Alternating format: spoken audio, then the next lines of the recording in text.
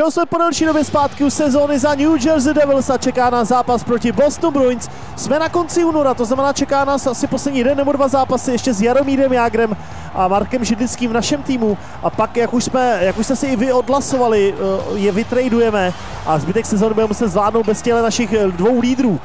Já vám si na začátku tohle utkání ještě moc a moc poděkovat, protože jsem zjistil, že dneska jsem se vrátil do Prahy a měl jsem už od vás 5025 odběratelů na mém YouTube kanálu. Je to neuvěřitelný pro mě číslo. Já jsem čekal, že to padne třeba až někdy koncem tohohle týdne a opět jste mě zase překvapili.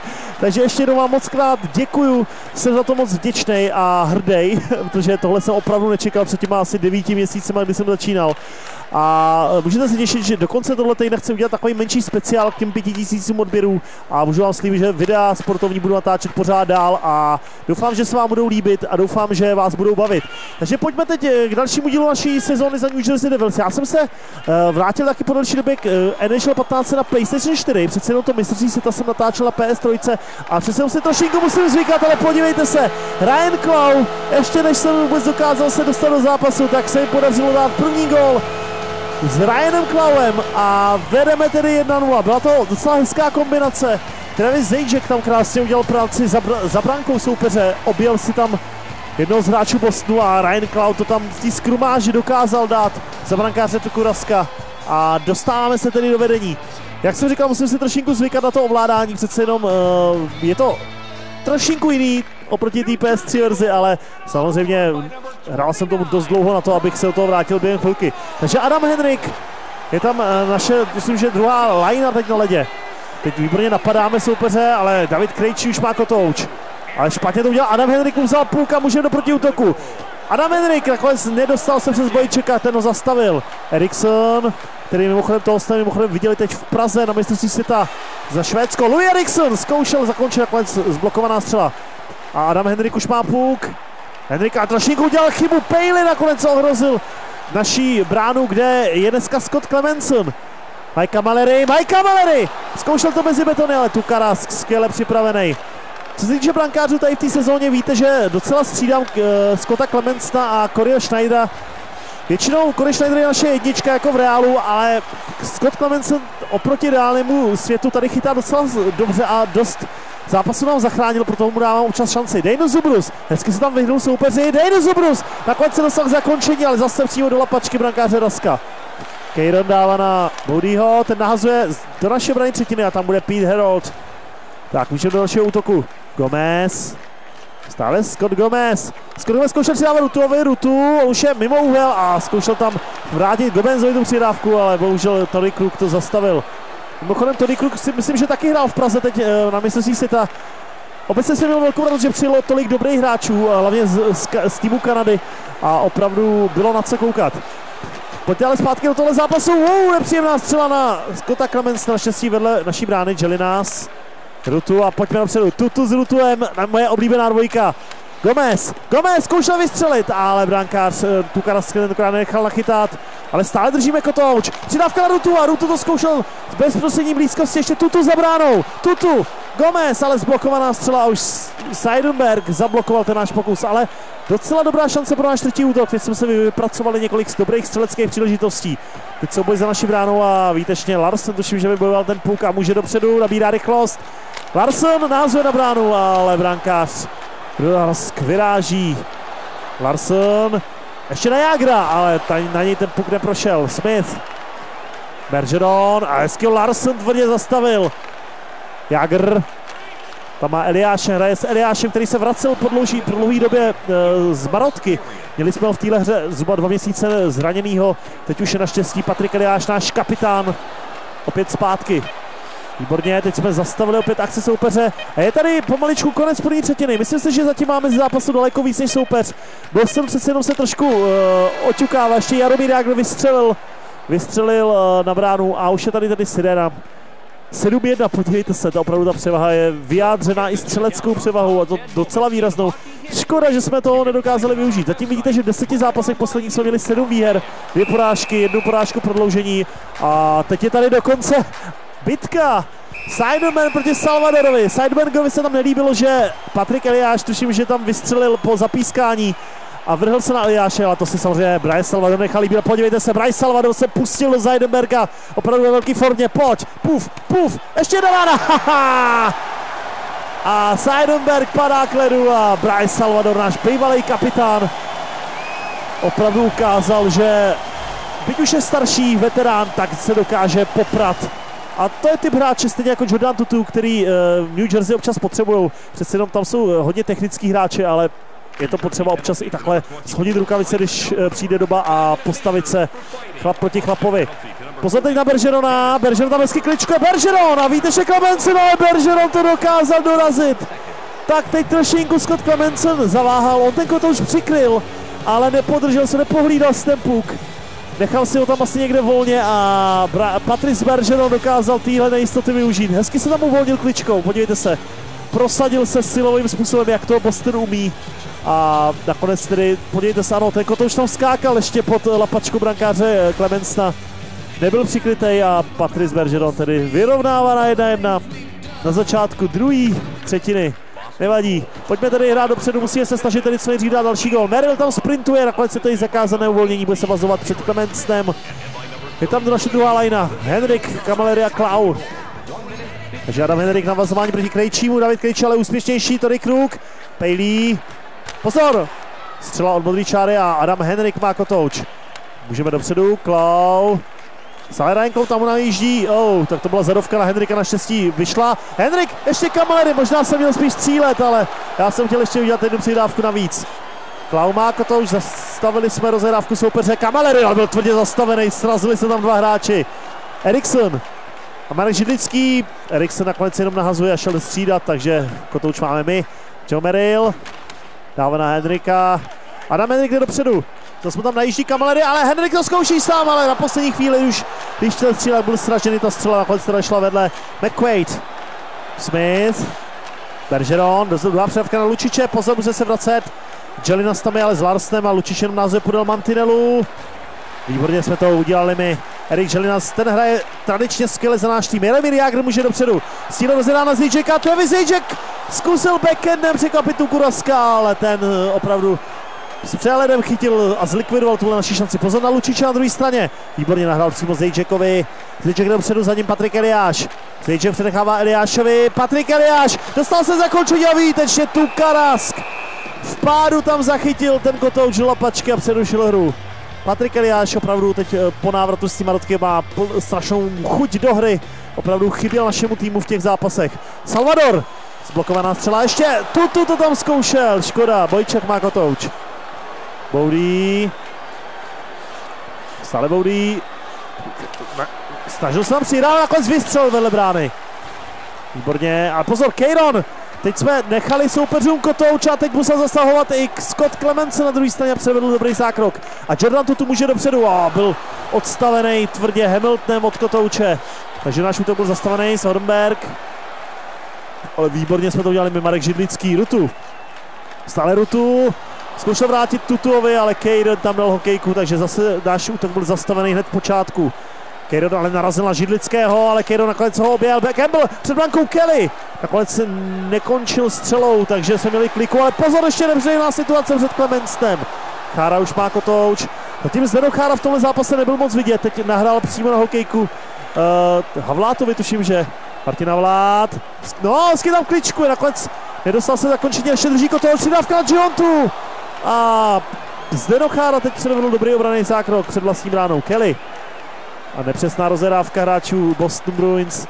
A Joe Medal tedy může rozhrát znovu z naší třetiny. Zubrus. Takže Dejnu Zubrus dává na Giontu. Gionta! Ale teď myslím, že se to o Zubrusovou hokejku odrazilo úplně někam jinam. Chára rozhrala Pejliho. Oh, hezky jsme ho tam zastavili. Opravdu teď oba dva týmy překážejí ty rozehrávky, nebo zastavují rozehrávky v počátcích. Opravdu podívejte se, jak forčekujeme docela dobře. Pozor teď na Krejčího. Pejlí. Pozor, David Krejčí. Nakonec se dostal ke střele, ale výtečně Clemenson. No a blíží se posledních pár sekund eh, druhý třetiny ještě Jaromír Jágr.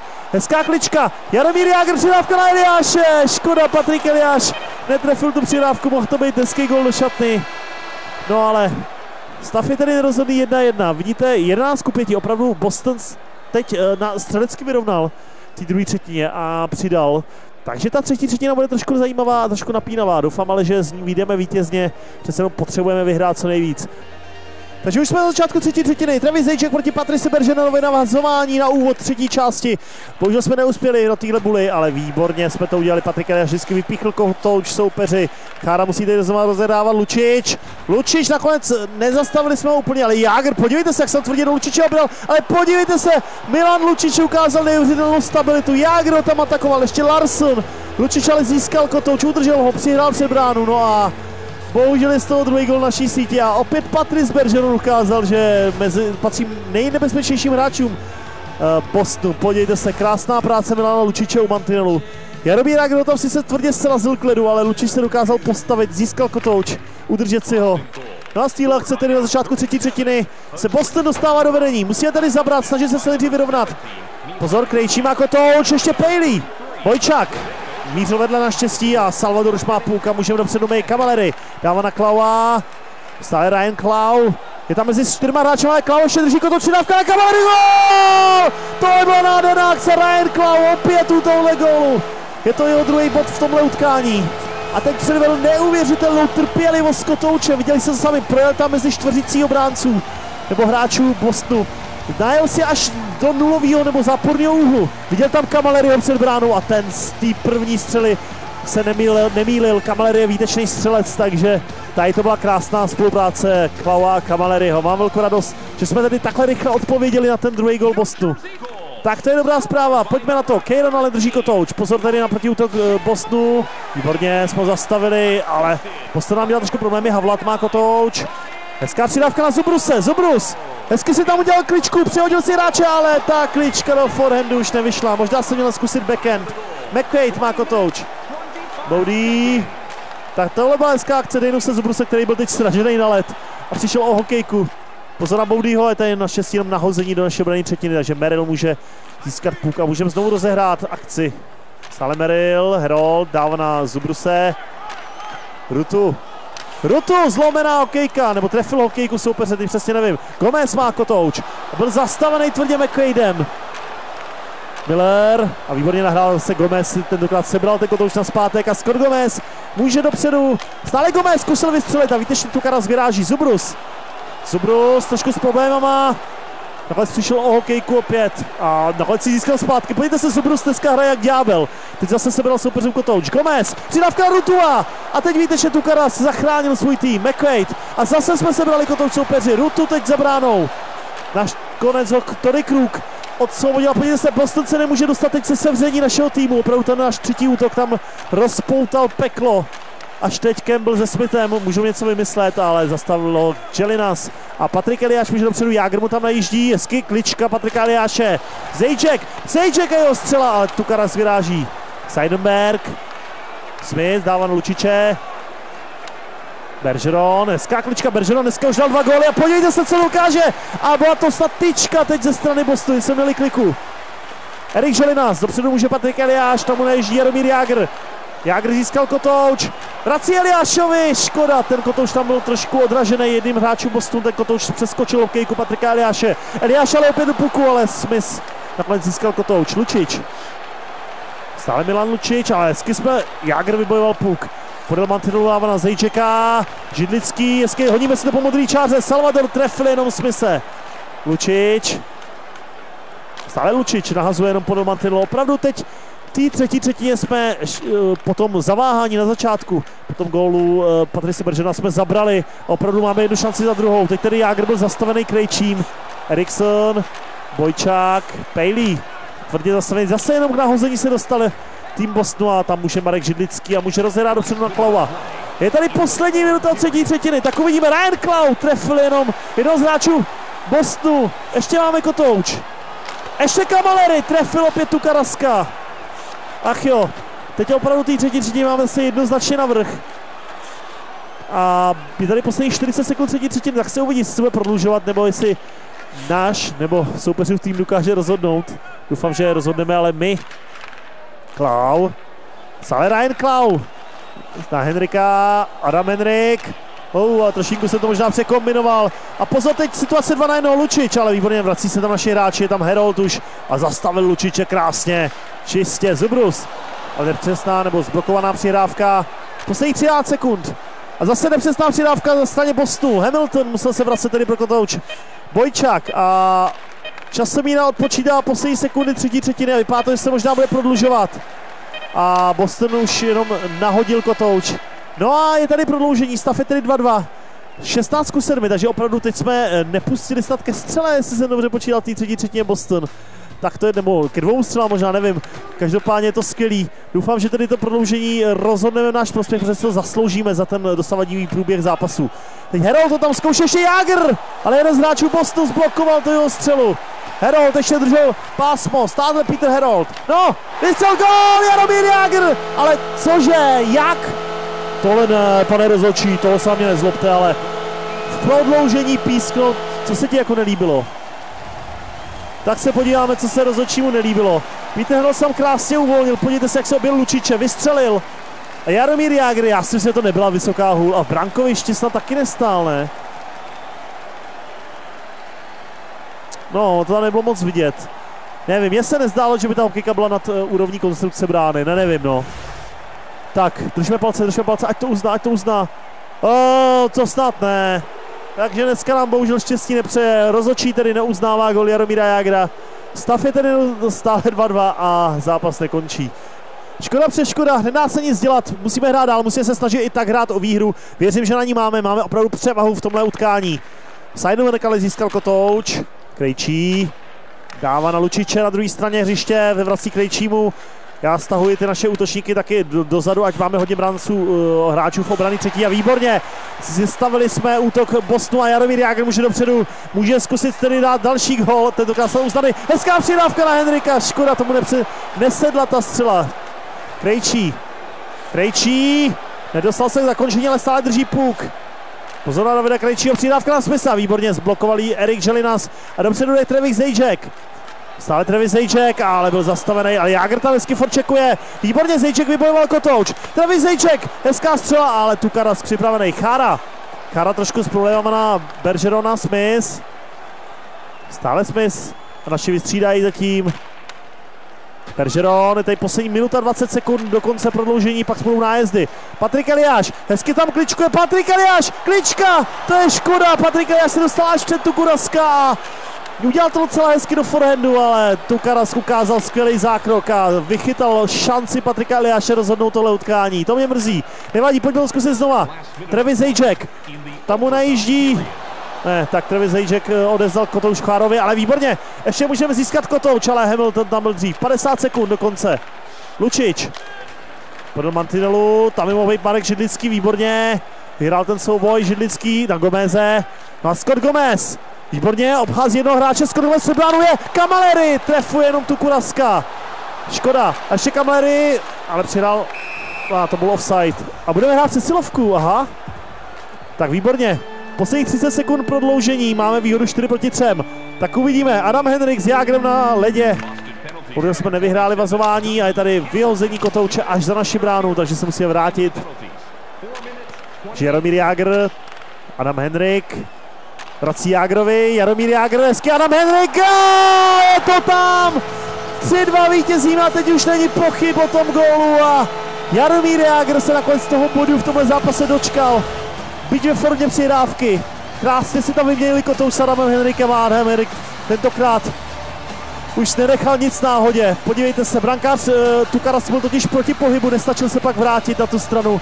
No a Adam Henrik hezky do forehandu překonává brankáře a podívejte se, 20 ku 7 počestřel. A tady víte hvězdy zápasu. Patrice Bergeron hrál skvělý zápas, to se musí nechat, ale naštěstí na náš tým to nestačilo. A vybojovali jsme tedy cený dva body v tomhle utkání a porazili jsme Boston 3-2. Tak mám velkou radost, že po té pauze na mistrovství světa, že jsme dokázali eh, vyhrát tohle utkání. No a můžeme se podívat tedy opět na statistiky našeho týmu, na tabulku a příště nás čeká zápas proti Columbusu. A mě bude zajímat, jestli, to bude ještě, jestli ten zápas ještě bude hrát Jaromír Jager nebo ne. Já ho budu tradovat totiž někdy kolem 1. března, 2015 eh, a teď jsme vidíte 27. února. Tak uvidíme ten zápas proti Columbusu, jestli bude ještě v únoru. Já si myslím, že ještě by měl být. Tak, máme 36 výher, 21 porážek, 5 porážek prodloužení, takže statistiky sezóny zatím velmi dobrý. Vidíte, že zatím jsme eh, v tabulce naší divize třetí, to znamená na postupovém místě do playoff. No a uvidíme tedy, jestli na tom budeme takhle i po odsimulování dalšího zápasu, tak moment. A třetí jsme stále, tak to je dobrá zpráva. Pojďme se podívat na statistiky našeho týmu. Tak. Du, du, du, du. Takže vypadá to, že Adam Henrik má 49 bodů, že stále povede produktivitu. No ale Jaromír Jágr ho dohnal, podívejte se, že Jaromír Jágr bude odcházet z našeho týmu jako z našich nejproduktivnějších hráčů, možná nejproduktivnějších. Má 49 bodů v 42 zápasech, stejně jako Adam Henrik. No a ještě vám tady ukážu tabulku naší divize, ať máte přehled. Jsme na postupovém místě, máme docela velký náskok před čtvrtými uh, Rangers, takže to máme rozjetý dobře. Díky moc za pozornost, doufám, že se vám zápas líbil. Mějte se a čau!